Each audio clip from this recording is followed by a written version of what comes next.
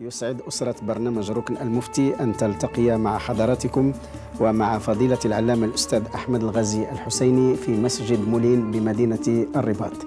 لنبدأ على بركة الله الاستماع إلى أسئلة السادة الحاضرين وكذلك الإجابة على رسائل السادة المستمعين والمشاهدين. ذبح جزار بقرة فوجد في بطنها جنينا فذبحه أيضا فأكل لحمه حلال. بسم الله الرحمن الرحيم وصلى الله وسلم على سيدنا محمد وعلى آله هذا السؤال معناه رجل جزار ذبح بقرة فلما سلخها وشق بطنها وجد فيه جنينا وهنا اللي يذبح شي بقرة أو ناقة أو نعجة أو معزة ووجد فيها جنينا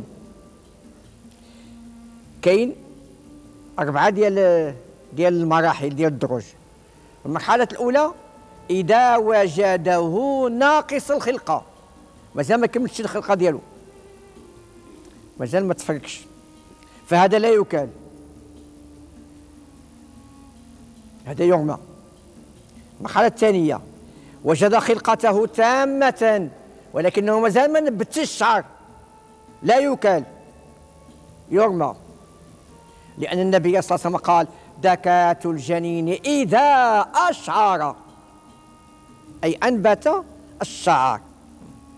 فإذا وجدناه تام الذات ومشعر ذاك الشعر ولكن وجدناه ميتا. تنشوفوا واش مات بالذبيحة ديال يماه أو مات قبل أن تذبح أمه. الجزارة تعرفوا تعرفوا هاد هم تعرفوا هاد الحقائق.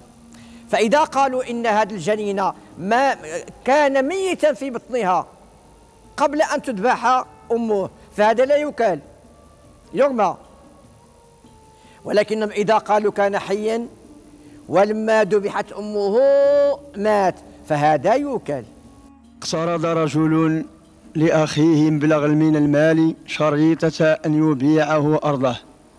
غير أن هذا الأخ لم يلتزم بهذا الشرط ولم يفي بوعده فهل هذا الشرط يوجب البيع؟ وشكرا. سيدنا عبد الله بن عمر رضي الله عنهما قال من أسلف شيئا فلا يشترط إلا قضاءه. تسأل واش واجب على هذا الأخ؟ أن يوفي بهذا الشرط. يبيع له الأرض. لا. هذا قولة السيد هاد هاد هاد المعاملة اللي عملتي كلها حرام.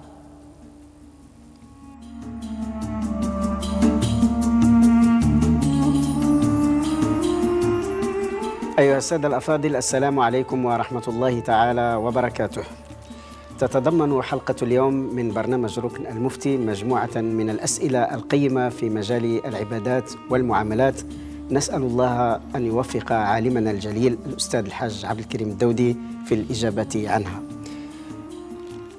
من مدينة سيدي بن نور هذا سؤال في الإرث. سيدة ورثت عن أبيها قطعة أرضية فأرادت بيع نصيبها لابنها غير أن أخاها عارضها في هذا البيع مدعيا أن له حق الشفعة وأنه حق بشرائها من ابنها. ما حكم الشرع في ذلك؟ هذا في الشفعة عفوا. هذا السؤال يجب أن يوضح لأن لأنها تقول فيه إن أخاها عارضها عندما أرادت أن تبيع لولدها نصيبها من تلك القاعدة المقررة شرعا أن الشيء إذا كان مملوكا على الشياع وهذه القطعة التي تقول إنها تريد أن تبيع نصيبها إن كانت ما زالت مملوكة بينها وبين أخيها وأرادت أن تبيع لولدها نصيبه نصيبها منه فإن الحق يثبت للأخ الأخ نعم. ولكن لو فرضنا أن القطعة وقع قسمها قسمة بتية قطعية وخرجت هي بواجب بنصيبها في ناحية وخرج أخوها بنصيبه في ناحية أخرى. فإذا أرادت أن تبيع فلا يمكن أن يعارضها لأن الرسول صلى الله عليه وسلم يقول الشفعة في كل مال يقسم. فإذا وقعت الحدود وصرفت الطرق فلا شفعة.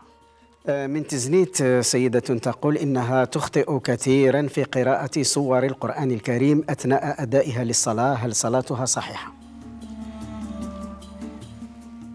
تقرر شرعا أن الصلاة لها فرائض ولا سنن مؤكدة وسنن غير مؤكدة. الفرائض منصوص عليها ومن بينها قراءة الفاتحة. نعم. لأن الرسول صلى الله عليه وسلم يقول لا صلاة لمن لم يقرأ بفاتحة الكتاب.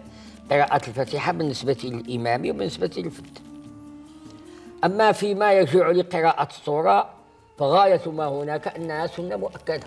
نعم. هذه السيدة يقال لها يكفيها أن تذكر ولو آية واحدة بعد انتهاء من الفاتحة كأن تقرأ قل الله أحد ويكفيها ذلك أو تقرأ مثلا آه آه إياك تقرأ الله, أحد الله لم يلد ولم يولد أو تقرأ آية آية كيف ما كانت هذه الآية ولو صغيرة إنا أعطيناك الكوثر. نعم. فإذا قرأت ذلك فإن ذلك يكفيها. وعلى كل حال إذا كانت تخطئ كثيرا وتحافظ على قراءة الفاتحة فصلاتها صحيحة.